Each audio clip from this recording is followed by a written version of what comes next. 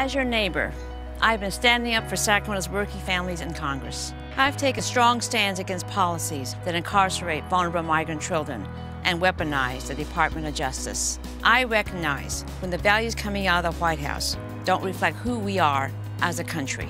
I love Sacramento, and I want to continue representing your values in Congress. This election is too important to miss. Get out and vote.